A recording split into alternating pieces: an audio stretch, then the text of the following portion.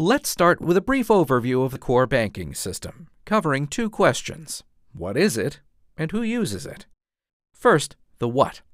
In the simplest terms, the CBS functions as the master ledger, but a unique one, suited to the unique needs of a bank. To appreciate this uniqueness, first consider non banking companies like retailers, software firms, or manufacturers. These companies also need a master ledger, a clear, reliable record of payments sent and received. Typically, such inflows and outflows are managed by their enterprise resource planning ERP systems. A bank shares this need and, spoiler, also uses an ERP. But a bank has an entirely different, additional set of ledger keeping requirements. Why? Because banks manage fundamentally different types of financial transactions. First, these transactions are made on behalf of the bank's many customers. Think of it this way an ERP is a general purpose system that primarily focuses on the company's operations and assets. A CBS, by contrast, focuses on the customer's assets. Second, these customer assets and the associated transactions are far more varied and complex. Each banking product, say a credit card, mortgage, savings account, or digital wallet, will come with unique data needs. The CBS will manage both the product itself, the underlying contract detailing the terms and features of the product, and any related transactions. Mortgages, for example, are complex products, and the contract documentation is extensive. Debit cards, on the other hand, are simpler products, but the challenge is handling millions of transactions without lag.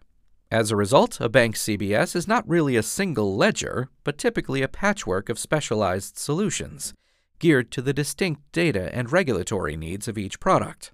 That's what a CBS does. Now let's turn to the who. What types of companies use a CBS? Well, yes, banks.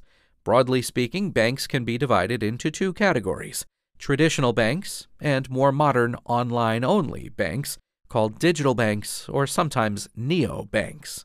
Traditional banks can be further divided based on size. Large global banks, often called Tier 1 banks, typically operate legacy core banking systems. In most cases, these systems were built over many years by in house teams using older coding technologies like COBOL and architectures. As a result, the tech debt is considerable. Plus, multiple different CBSs might be in use, say for different geographies or as a result of M&A activity. Small and medium banks may face similar challenges, though they may have relied more on software vendors than on in-house teams for their CBS needs over the years. Digital banks, by contrast, are native to the digital age. These banks were built for online banking, with digital experiences in mind, and their core banking systems were too. Digital banks typically leverage the most modern CBS solutions, provided and maintained by third party vendors. Beyond banks, there are some other companies that need to run a CBS, namely non bank fintechs.